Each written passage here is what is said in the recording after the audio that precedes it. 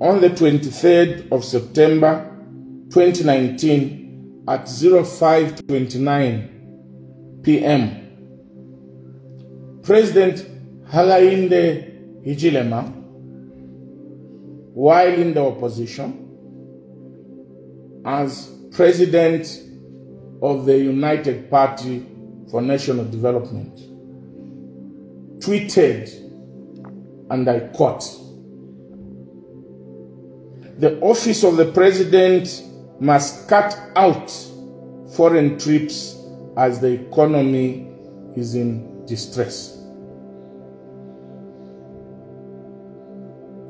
President Hakainde Hichilema, President of the Republic of Zambia now, while in opposition, as leader of the largest opposition in Zambia, tweeted, and I quote, the office of the president must cut out foreign trips as the economy is in distress. He went on to say the rise in the fuel prices is yet another example of why hostility measures must be seriously implemented to keep the economy under control. My dear brother, President Hakainde Hichilema, what has changed? What has changed today, my dear brother? The factors then are still the factors now. One, our economy is still under stress. Secondly, the price of fuel, which you talked about in this tweet, is still very high. And that's the more reason why hostility measures must be observed even today. Mr. President, you have taken 30 international trips in one year, seven months of your leadership. In the last two weeks, you have, in the last two weeks, you would have taken three trips, foreign trips, together with the pending a trip to Senegal. Three trips in two weeks at the expense of the taxpayer. I remember very well you used to call President Edgar Chagwa Lungu that Kamwendo Munjila for taking so many international trips. What has changed today, my dear brother? Look, Zambians, like I said in my preamble, if we continue being inconsistent, doing exactly the same things that we condemned when we are in the opposition, Zambians are going to lose confidence in politics. And once the Zambians lose confidence, there will be a lot of people not going out to vote. There will be apathy in short during elections. Because when we say something today, and when we are in power, we start doing exactly the opposite, or we start doing the things that we used to condemn. The UPND in opposition condemned not only President Lungu, they also condemned President Rupia Banda and said the foreign trips are necessary to some extent. And that is very true. Because I was Minister of Foreign Affairs in the first government of the Patriotic Front under President Michael Sata. President Michael Sata did not leave Zambia until after seven months. President Michael Sata did not leave Zambia.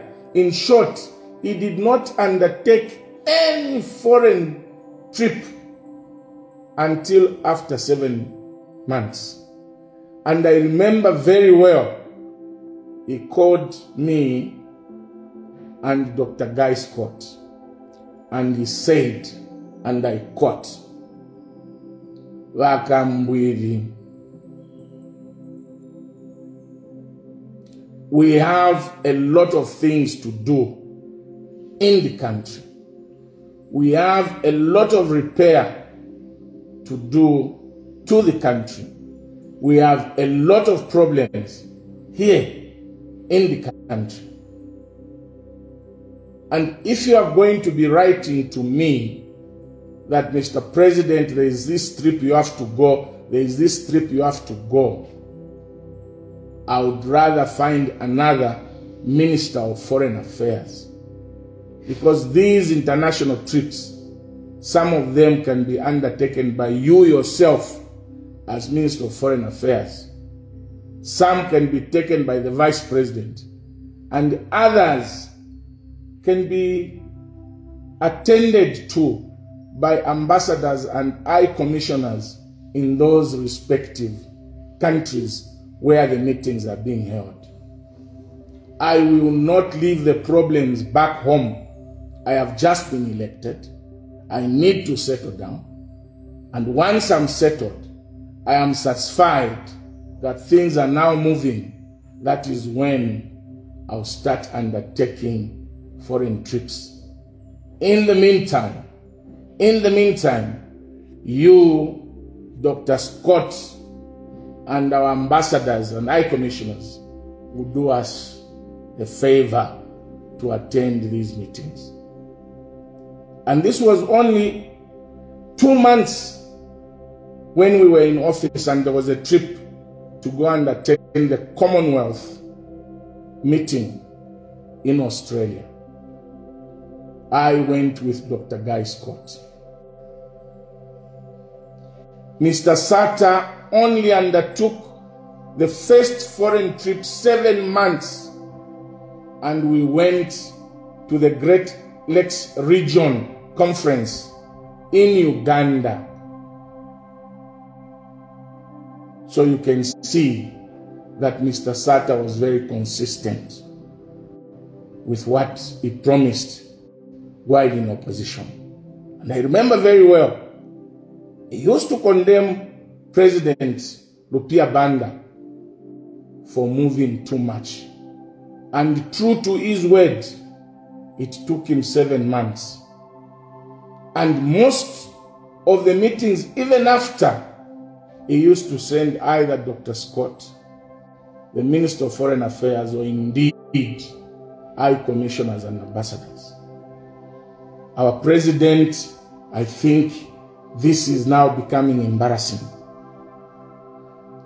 No matter how foreign affairs wants to sugarcoat the importance of these meetings, countrymen and women, not all meetings. I have been to those meetings.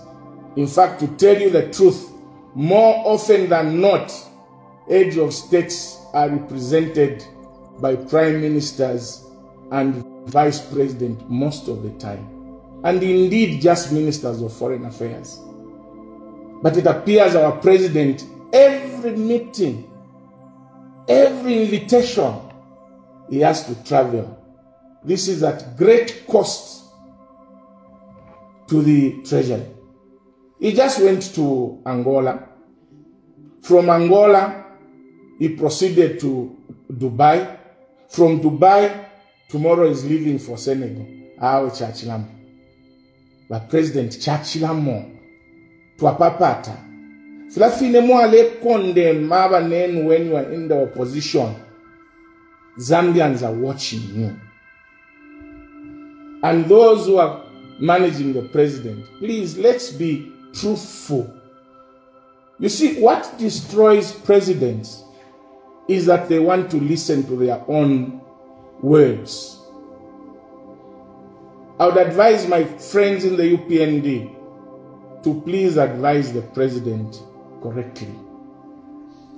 ayama foreign trips ya chilamo these uh, memorandum of understandings that are being signed all over have always been there even when i was minister of foreign affairs we were signing memorandum memorandums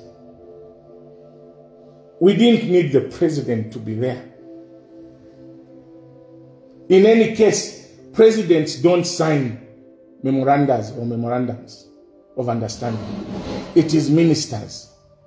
So the president nasheniko kwenda. Abantu babekyula. People are really suffering. But you are busy traveling all the time. Please delegate.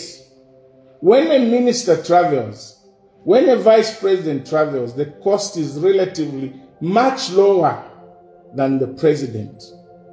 When the president travels, it is at very high cost to the treasury because of the security details, etc., etc. I cannot go into details. When I traveled, during my time when I traveled as Minister of Foreign Affairs, or any other minister, what we usually do is you use the vehicle for the ambassador to move around. But when the president moves, there must be proper transport arrangements made. In most cases, hired vehicles or hired motorcades. So please, my president, please be consistent. Live up to your promises. Like I said, it is becoming embarrassing. That fiance finto formal ekita condemn. This is what happened. So now nampapa taba president. Wakweba enfo yakwanoko mutanshi era olekweberapo straight ni munonko. Stop these unnecessary foreign trips. That conference you are going to in senegal is about agriculture. Send the minister of agriculture.